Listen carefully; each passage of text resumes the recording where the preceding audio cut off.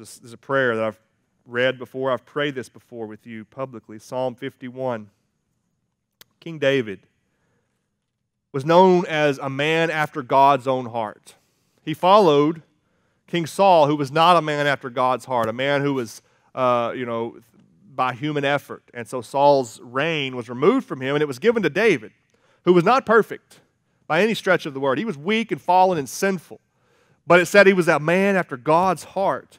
And so David, in the, in the deep pain and agony of his sinfulness and, and his repentance, he prays this wonderful prayer that you ought to pray every morning.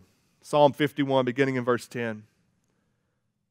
He said, Create in me a clean heart, O God, and renew a right spirit within me. Cast me not from your presence. Take not your Holy Spirit from me. Restore to me the joy of your salvation and uphold me with a willing spirit. Then I will teach transgressors your ways, and sinners will return to you. Deliver me from blood guiltiness, O God, O God of my salvation, and my tongue will sing aloud of your righteousness.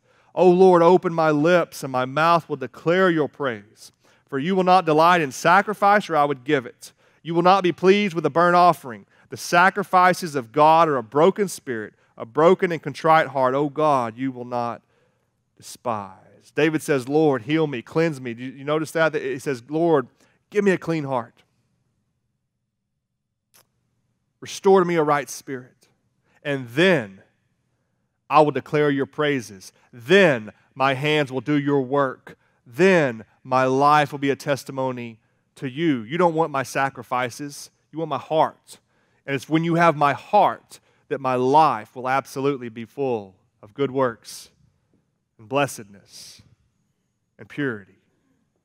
And so, friends, remind yourself of Psalm 51 regularly. David has sinned grievously, had this period of, of you know, difficulty is resulting from that, and he, and he comes to terms with the reality of the situation and says, Lord, it's not about me, not about what I can or can't do. It's about you cleansing my heart and restoring the joy of your salvation through a right spirit within me.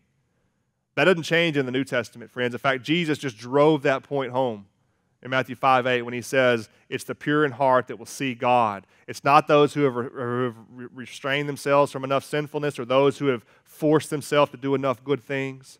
He said, It's those who are pure in heart.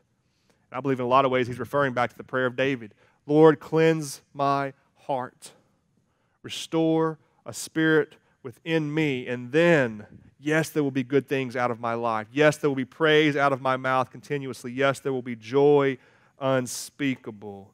But Lord, cleanse my heart.